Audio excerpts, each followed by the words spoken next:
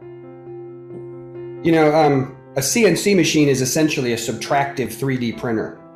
What I do for a living is I create dust. I create, you know, sawdust.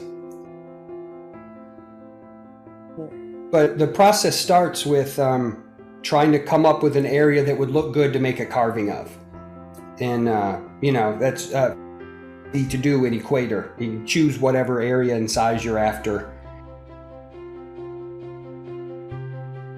The trick here for me was knowing when, you know, perhaps I could put a ton of effort into this and take models from USGS and do what I need to with them, but I don't have time for that. And this is exactly the situation where you you pay professionals to do something for you.